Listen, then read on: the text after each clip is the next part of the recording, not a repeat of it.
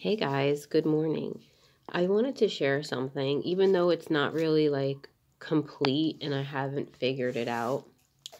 But I understand like when people get confused when reading the Bible and the New Testament, right? Um, you know, we have to understand the whole um, the whole context of everything? And some things seem to contradict, right? So I was reading in Second Corinthians and I stumbled upon this one scripture. So Paul is talking about immortality and us receiving this gift of immortality. All right. Um so the the um the context of the scripture is in is it's chapter 5 so he says i'll just read it so you get what i'm saying. So he says we know that if the tent that we live in on earth is torn down and and by the way this is the what is this? The common english bible. So um we have a building from god it's a house that isn't handmade, which is eternal and located in heaven. We groan while we live in this residence. We really want to dress ourselves with our building from heaven, since we assume that when we take off this tent, we won't find out that we are naked. Yes, while we are in this tent, we groan because we are weighed down. We want to be dressed, not undressed, so that what is dying can be swallowed up by life. Now, the one who prepared us for this very thing is God. And God gave us the Spirit as a down payment for our home. So he's talking about our gift of immortality when corruptible will put on incorruptible. So we are always confident because we know that while we are living in the body, we are away from our home with the Lord. We live by faith and not by sight. We are confident and we prefer to leave the body and to be at home with the Lord. So our goal is to be acceptable to Him, whether we are at home or away from the Lord. You know what? I should look up the word acceptable on the Bible Hub thing. Maybe I'll do that next.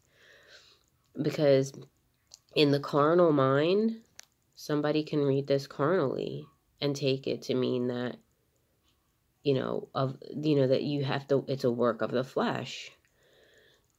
So he's so it says here the way it's translated says we all must appear before christ in court so that each person can be paid back for the things that were done while in the body whether they were good or bad. Now what does that sound like to you right? Like at first it sounds like oh my god be in court like go before the judge i'm gonna get punished for the things I've done wrong. Like a person who wants to take a scripture and and use it carnally against people can do that and say, "Look, it says it right there. You're going to be paid back for the things you've done wrong." But wait a minute now. That doesn't seem to line up with the context of the gospel with everything. Because in Romans we read it doesn't make sense that God would judge you by your actions, right? And what he's going to provide the gift of immortality based on your actions now and or he's going to punish you first for the things you've done bad and then give you immortality like that doesn't make sense. There's got to be more to it. And i think sometimes i think some things are translated in order to scare people. Anyways so romans 4 says god credits Okay, David also pronounces a blessing on the person to whom God credits righteousness apart from actions. That's supposed to be the whole point, right? That's the point of the gospel. So it's like we go from that, and it says, Blessed are those whose actions outside the law are forgiven and whose sins are covered. Blessed are those whose sin isn't counted against them by the Lord. All right. Um, there's pro- there's other examples, but I'm just saying that this is the whole point of Romans. You're counted unto righteousness not because of the things that you have done, but by receiving that gift from the Lord. It's a gift. That's the good news of the gospel, the good news. Then you read this here. It says, We all must appear before Christ in court so that each person can be paid back for the things that were done while in the body, whether they were good and bad. I see it as you go to court because you are things were stolen from you. You need to be restored, right? So, anyways, I looked up, I went on this Bible Hub and looked up some of these, this sentence in the Greek. And it said for the phrase, the phrase of um, be paid back, to be paid back, that phrase comes from, is the word komistai. It's like number 2865. And it, it means to receive back. Um, komizo, to bear, to carry. To receive what has belonged to myself, but has been lost. Or else promised, but kept back. So, I mean, that makes sense to me because the whole time we're being promised immortality. We're being promised that when we see Him, we shall be like Him. We're being made this promise. Okay, so then at so then yeah, before the judgment seat of Christ, it would make sense that we would receive that promise, that we would get that, we would attain that. He would restore that to us. So um what else does it say? It says get your earning to recover right? Recover something that was lost. To me those all sound like amazing things. It doesn't sound like what i feel like they're making it sound like in that translation. So komeo um is the word origin. Komeo k-o-m-e-o to take care of. To take care of. Christ is going to take care of us I don't know. This is how I'm seeing it. So, and then it, it also lists other things in Numbers. Um, it said, and mind you, the whole time Paul is talking about this ministry of reconciliation in in the Second Corinthians. He's talking about how if if if ministry of death, if the ministry that served people with death because of their actions through the law was had glory how much more glory that the ministry that gives life that that offers righteousness to people that yeah that offers immortality to people right? This is the whole context of everything. So um, it also says to take care for to provide for to take up or carry away in order to preserve to carry away to receive to obtain the promised blessing. That makes total sense. We're going to be taken to judgment seat of Christ, you know, peer before Christ in court so that we can receive the promised blessing. Uh, I mean, as far as the rest of the sentence, the things that were done while in the body, whether they were good or bad, I have no idea what that means. I mean, we're going to receive the promised blessings um,